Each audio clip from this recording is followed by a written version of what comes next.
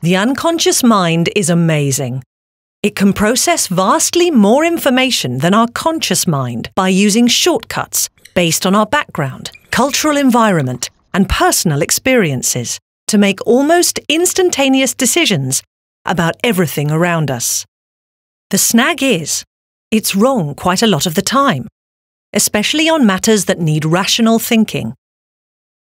Here's a classic example. A bat and a ball cost £1 10 pence. If the bat costs £1 more than the ball, how much does the ball cost?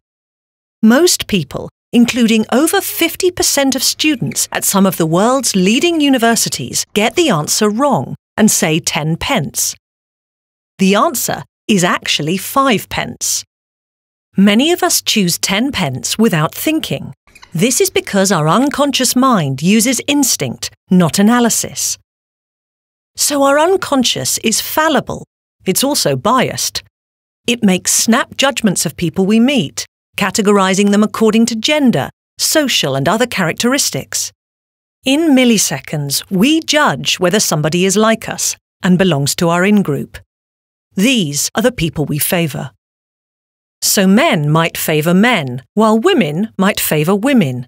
However, we can belong to different in groups, and we like to be part of an in group that's powerful, which could mean a woman favouring a man over a woman.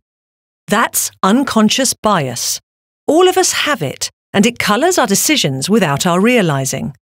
For example, research reveals that if I were a man, you would be more likely to be nodding in agreement right now because people pay more attention to a male voice. The Royal Society fosters excellence in science, but this can only be achieved if we select from the widest range of talent.